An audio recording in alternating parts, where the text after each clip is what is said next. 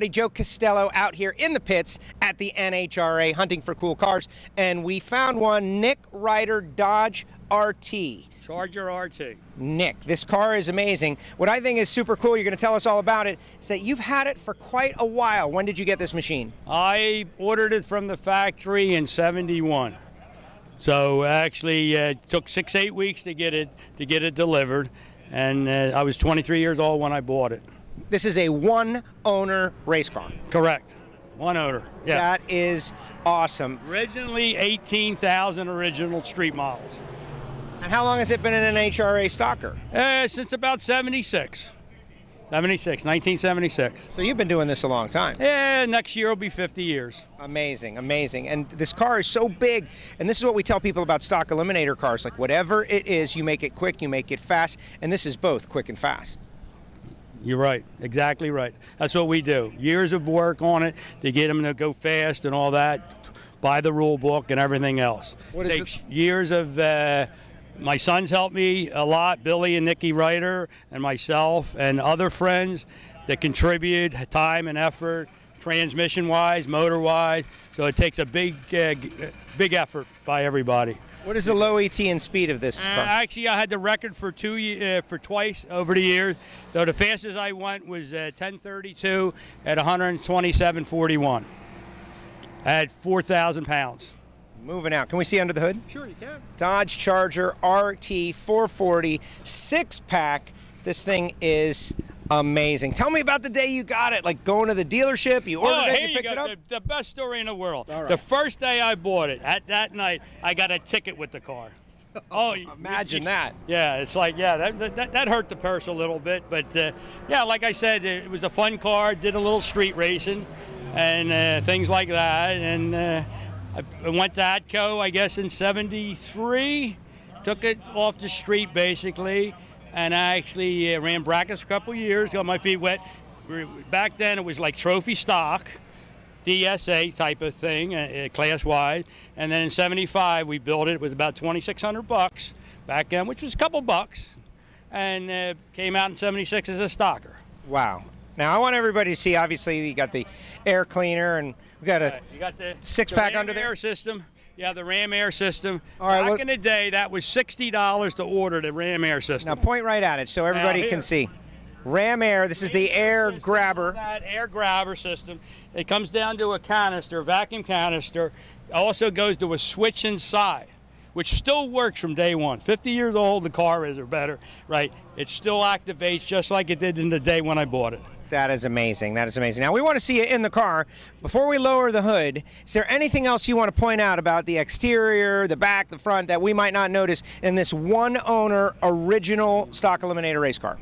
Uh, let's see here. Well, well, we got the got I love the vinyl roof, of course. the vinyl roof. Yeah, that was basically all original stuff like that. And you got the fancier wheels and all that, the lightweight wheel stuff like that. The interior, I have the original slapstick. You take a picture of that. I modified it, and I made it into one, two, three shift.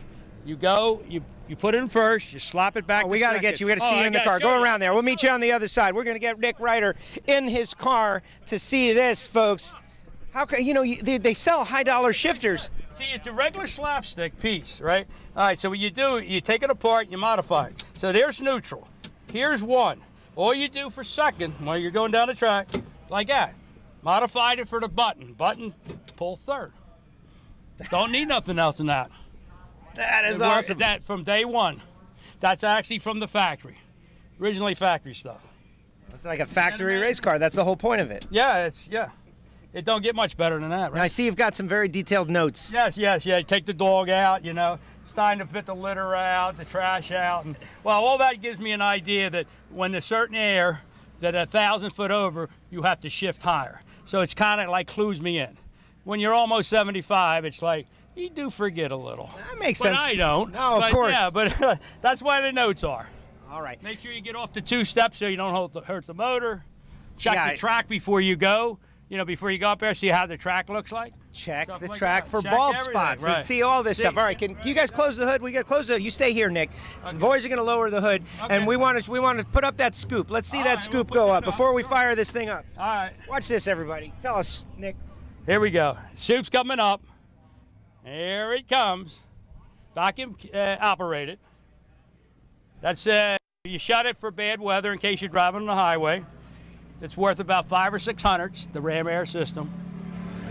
Not quite all the way up, but if I start it, it'll go. Well, and we want you to start it. Can you start it for us? Sure, I will. He's gonna fire it up, guys. Tension in the pits, baby.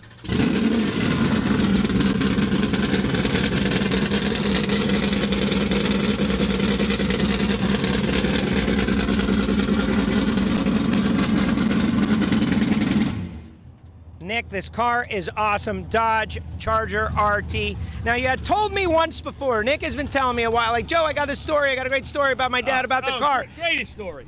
Greatest story. My dad was 60 years old. Says to me, I always wanted a muscle car, right? So I said, Dad, I kind of don't, you don't want to wait too long, right? And I says, that weekend, we're both Philly kids. We went down to Northeast Dodge. He ran a Super B, drove a Super B, did that kind of stuff. And I said to him, and, and that year in 71, they lowered the compression ratio. So it went from 10 and a half to 8 and a half, right? So over the weekend, I said to my dad, he says, uh, you know, he said, is that fast enough for you? Ah, order me the RT, 440 HP motor. So Monday after work, I went down and ordered that. I put 4,000 miles on the car the first month, right? I said, I got to order. So I ordered this car. Three months, two months, three months later, the six pack.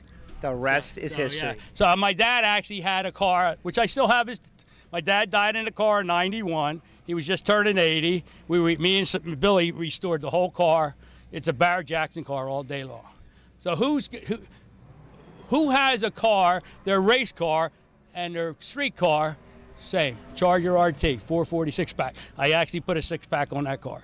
Father, better than that? Father and nothing. son. Father and son from Still- generation to generation. And I still have that car. We still have that car. Two original cars from the factory. Amazing. Ain't that cool? It is super cool. Nick, thank you for sharing your car with us. I appreciate it. Thanks, Joe.